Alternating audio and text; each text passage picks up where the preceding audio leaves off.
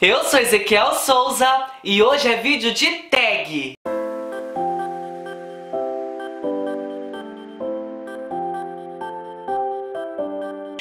Gente, já estamos o quê? No meio do ano e como é de costume, eu acredito em todos os canais de booktubers, é, a gente faz o quê? Aquela book tag bem famosinha aqui no booktuber, que é a book tag dos 50%, onde a gente vai fazer mais ou menos um balanço do primeiro semestre do ano, vamos expor aqui é, os melhores, os piores e fazer essa interação com vocês. É uma tag bem legal e espero muito que vocês gostem. Então não vai esperando muito, já vai deixando seu like, se inscreva no canal e comente aqui embaixo eu saber que você passou por aqui. Lembrando que eu vou deixar o link de compra aqui no box de informações, caso vocês tenham interesse de estar adquirindo qualquer um dos livros que eu citar aqui nesse vídeo ou qualquer outro, compre pelo link do canal, porque comprando por esse link, vocês ajudam muito ao crescimento do canal. Eu vou deixar também meu Instagram aqui embaixo, caso ainda você não me segue, corra lá para me seguir, assim vocês vão ficar mais próximos de mim, sabendo da minha leitura atual, um pouco mais a minha vida pessoal, então se não me seguem, corra lá para me seguir ok?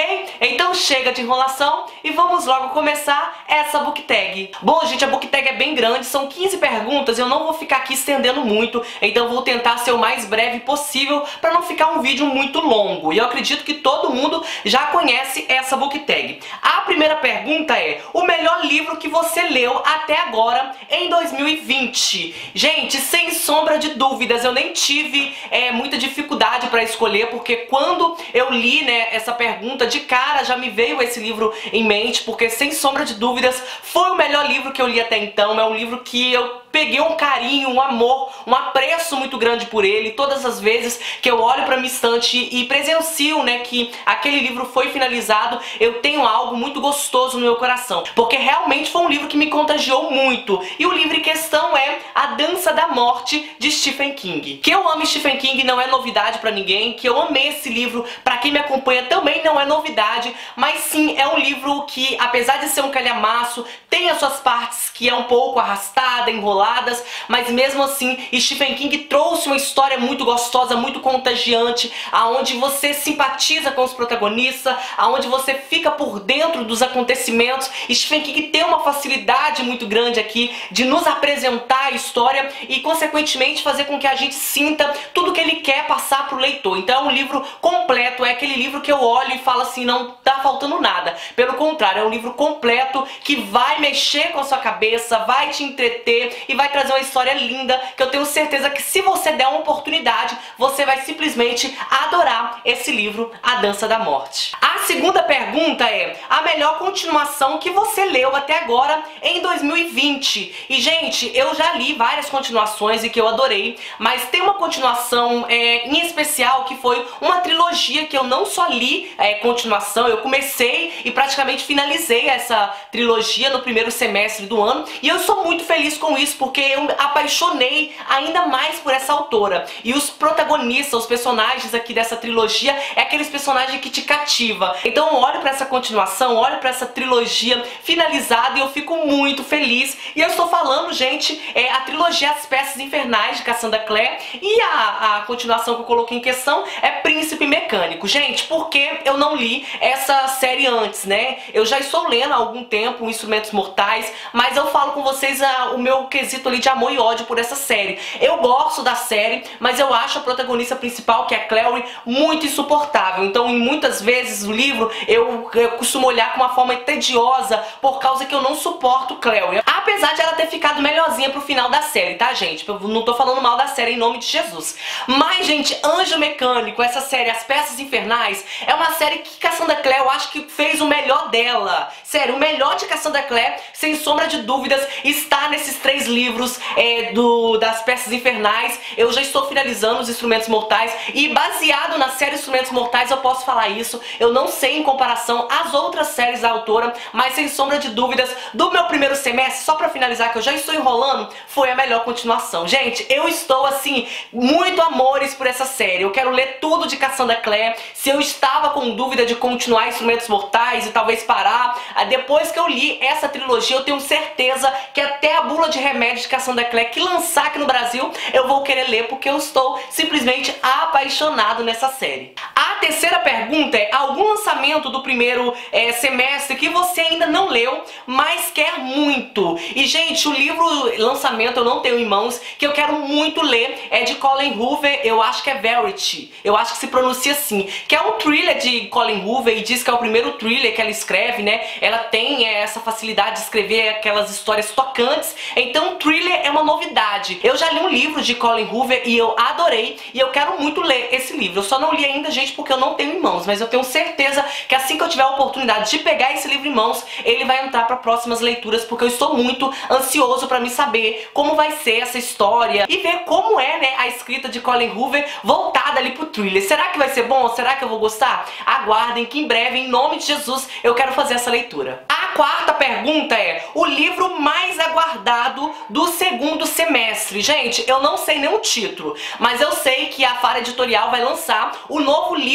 de Charlie Donlia. É, eu acredito que até lá pro final de, de outubro, novembro, vai chegar aqui no Brasil. E é um livro que eu quero muito, porque é Charlie Donlia. Pode ser qualquer coisa, pode ser ruim o livro, mas eu quero muito ler. E eu sou tão ansioso, tão ansioso, que quase sempre eu falo com o André, André, pelo amor de Deus, me dá um spoiler. Quando que vai ser lançado esse livro? Aí, é claro que ela não pode, né, passar essas informações pra todo mundo, mas mesmo assim, eu estou muito ansioso. Eu vou deixar a fotinha da capa, é, né, do livro original aqui passando pra vocês. E, gente, é um livro que quando for lançado aqui no Brasil, Ezequiel vai parar tudo, porque vai entrar pra próxima leitura. Quero muito ler, estou assim, já tomando até remédio, porque, gente, sério, eu acho que eu infarto. Sério, porque eu tô ansioso pra esse lançamento que vocês não têm noção. A quinta pergunta é com tristeza, tá, gente? O livro que mais te decepcionou esse ano. Gente, em toda a minha vida eu nunca imaginei que eu ia trazer é, essa autora pro pior do ano, ou pior do primeiro semestre, vamos colocar assim. Porque é uma autora que eu amo, mas infelizmente de todos os livros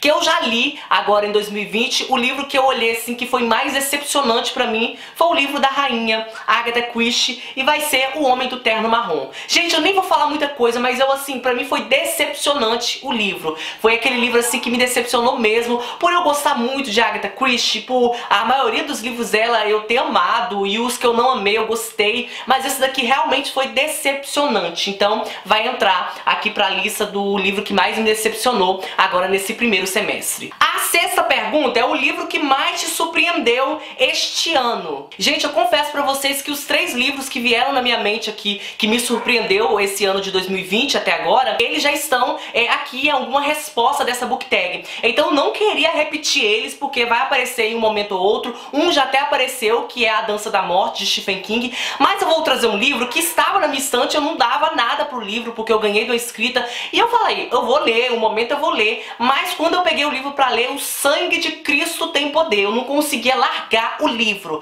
Foi uma leitura tão viciante, tão visceral, aquele negócio assim, é sério, tinha tempo que eu não sentia a sensação que eu senti quando eu estava lendo esse livro. E eu só tenho agradecimentos por essa escrita e eu quero ler tudo desse autor. E eu estou falando de Ponto de Impacto de Dan Brown. Gente, sério, é um livro espetacular. Eu não sei como é os outros livros do autor, eu não sei como é, como é fluida ou não é a, os outros livros que ele lançou, mas esse daqui, minha gente, sério, vai preparado, despedindo da sua vida social, porque é um contrato que você assina com o autor. Você começa a ler o livro, é impossível você parar de ler, porque realmente o autor aqui, assim, me surpreendeu de uma forma que eu não sei dimensionar para vocês. Eu só sei dizer que é um livro que tem que ser lido em nome de Jesus. Se você tiver esse livro em casa, dê uma oportunidade, leiam e me contem se vocês amaram assim como eu amei esse livro. Sétima pergunta, gente, é novo autor favorito, que lançou o seu primeiro livro nesse semestre ou que você conheceu recentemente. E o meu novo autor favorito, gente, vai ser é, Rafael Montes. E eu trouxe aqui o último livro dele que eu li, que é Jantar Secreto. Eu li Rafael Montes por causa da minha amiga Tami de Carve, que ela sempre me indicou Rafael Montes. Ela me presenteou com Dias Perfeitos, eu li ele é, em janeiro. Em fevereiro eu li é, Bom Dia Verônica. E agora, em julho, eu li esse Jantar Secreto, gente, que foi um presente escrito também, é, e eu sou apaixonada. Eu quero ler tudo desse homem, porque a escrita dele, pelo menos no Dias Perfeitos e Jantar Secreto, eu achei impecável. Esse livro aqui, Jantar Secreto, só pra vocês terem noção, eu li ele em menos de 24 horas, porque eu não conseguia largar. Sério, é um thriller que mexe com o seu psicológico, mexe com o seu é, emocional, tem partes horrendas que dá nojo, dá ranço, dá ânsia de vômito,